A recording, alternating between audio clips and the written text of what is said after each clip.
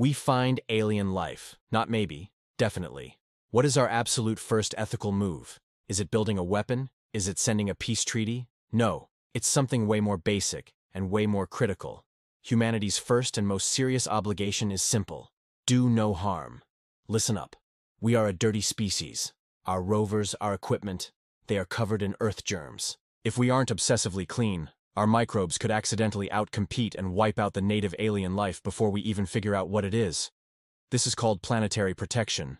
It is the universal law of don't ruin the science, and don't cause a cosmic genocide. Now what if it's intelligent? That makes the obligation even heavier. Then, our duty is respect and non-exploitation. We have to recognize their right to their own planet and their own future. We are guests. But the real challenge is us. We need a global, unified plan. No single country gets to rush in and decide for all of humanity.